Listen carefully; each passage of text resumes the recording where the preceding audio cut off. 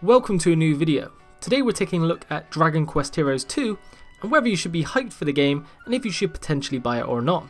As the name suggests, the game is a sequel to Dragon Quest Heroes, which didn't actually release all that long ago. Only a year and a half ago in October of 2015. The game scored a respectable 77% on Metacritic and I myself fairly enjoyed it. Dragon Quest Heroes 2 releases on PS4 on April 25th in the US and April 28th in Europe, as well as PC on April the 25th worldwide. The Nintendo Switch also sees a unique bundle of Dragon Quest Heroes 1 and 2 together, which is currently out in Japan and should make it to the West at some point, although no release date has been given as of yet. Dragon Quest Heroes is the culmination of Dragon Quest, the long-running JRPG series that's been around ever since 1986, and Dynasty Warriors, the Chinese hack and slash series revolving around the Three Kingdoms that spawned a ton of sequels and fusion spin-offs, such as Hyrule Warriors released on the Wii U a couple of years ago, One Piece Pirate Warriors 3, and finally releasing sometime on the Nintendo Switch, Fire Emblem Warriors.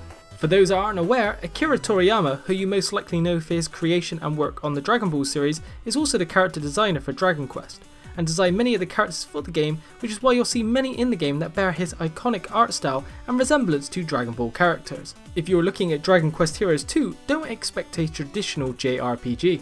The game is essentially a Dynasty Warriors game at heart, meaning you'll be hacking and slashing through enemies and tossing up the numbers. With that said, there are still light RPG elements, and more so than the previous game. These Dynasty Warriors spin-offs are kind of weird in the sense that just because you like Dragon Quest or Dynasty Warriors doesn't necessarily mean you'll like Dragon Quest Heroes. It will help of course, but don't just assume you'll enjoy it based on that alone. Dragon Quest Heroes 2 has its own story and unique main character. In fact, you're given the choice between a girl or boy, much like the first game with the option you don't choose becoming a party member. You also run into plenty of familiar characters from all the past games that will join your roster as you go through the story that you'll no doubt recognise, with a sequel introducing many more such as Gabo from Dragon Quest VII or Torneko from 4 that I may add are completely playable for you to switch between and control directly yourself. If the story is anything like the first game, it'll be a light-hearted adventure that doesn't take itself too seriously and gives just enough excuse to drive the campaign mode forward. Personally, despite it not being too deep, I actually enjoyed the first game's story and the cutscenes were well animated and enjoyable to watch.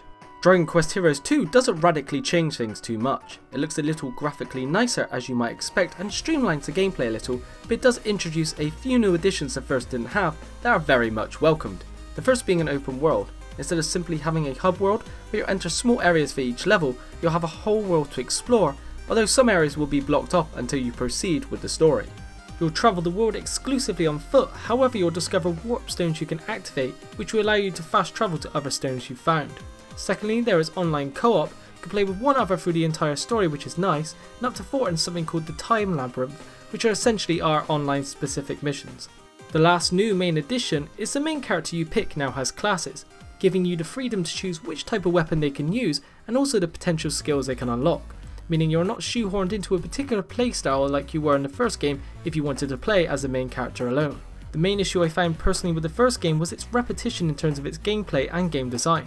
Found the moveset was quite limited, so I felt I was pretty much just mashing the same moves over and over, which if you played a Dynasty Warriors game isn't really all that much of a surprise as that's typically the nature of these games. The main issue with the game design being that you would do way too many protect area, items or person types of missions to the point where it would just be really overkilled and become quite a slog after a while.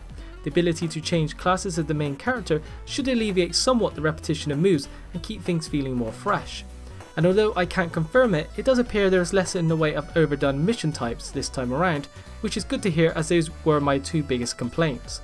So should you be interested in Dragon Quest Heroes 2? If you played the first game and enjoyed it, then it's a no-brainer. Dragon Quest Heroes 2 may be more the same in many regards, but it appears to make several improvements that make the sequel more enjoyable and less repetitive. That along with the addition of playing the story and online specific missions with friends should add some needed longevity. If you don't mind a bit of repetition and a fun, light-hearted whimsical story, then the game is probably worth checking out.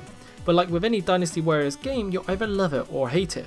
With that said, there is actually a demo out on the PS4 store for you to try out. It's a rare occasion these days we get demos, but definitely worth giving a go to see if it's a game you'll enjoy and should give you a good impression of its quality. That's it for today. Let me know if this video has helped you in your decision to pick up this game or not. Click the thumbnail on the left to watch the last episode or the one on the right to watch another of my previous videos. Leave a like and sub if you enjoyed the video, be sure to follow me on Twitter for updates on the channel. Thanks for watching as usual, and I'll see you on the next video.